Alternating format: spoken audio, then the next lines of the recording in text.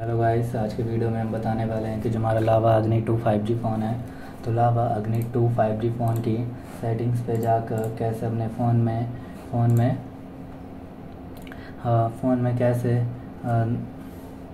Phone को कैसे आप रिबूट कर सकते हैं बिना बटन्स के, और फ़ोन को कैसे आप रिबूट कर पाएँगे बिना बटन्स के अलावा Agni two five G phone को। तो आज हम बताने वाले हैं कि फ़ोन को रिबूट कैसे कर सकते हैं। Lava Agni two five G phone की सेटिंग्स पे जाकर तो बताने वाले हैं। तो वीडियो स्टार्ट करने से पहले हमारे चैनल को लाइक करें सब्सक्राइब करें, साथ में ही बेल आइकन दबाना ना भूलें। तो आप देख सकते हैं आइकन शो हो रहे हैं तो आपको स्वाइप करना है। स्वाइप करते ही ऑल आइकन ओपन हो जाएँगे। ओपन हो जाएँगे जिसका आप यूज़ करके आपको सेटिंग्स पे जाना है और क्लिक करते ही फ़ोन की सेटिंग्स ओपन हो जाएगी, जिसका आप यूज़ करके फ़ोन को रिबूट कर सकते हैं बिना बटन्स के। तो सिंपली सेटिंग शो हो है देख सकते हैं।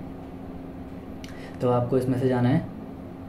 स्पेशल फ़ंक्शंस पे स्पेशल फ़ंक्शंस पे जाकर जब आप क्लिक करते हैं, जैसे एक्सेसबिलिटी पर तो एक्सेसबिलिटी सेटिंग्स भी आपके फ़ोन में कुछ इस तरीके से ओपन हो जाएगी, जिसका आप यूज़ करके फ़ोन को रिबूट कर सकते हैं बिना बटन्स के। तो सिंपली देख सकते हैं कि आपको इस पर जाना है। एक्सेसबिलिटी मेन्यू पर क्लिक कर देना है, जिसका आप यूज़ करके फ़ोन को रिबूट कर सकते हैं बिना बटन्स के।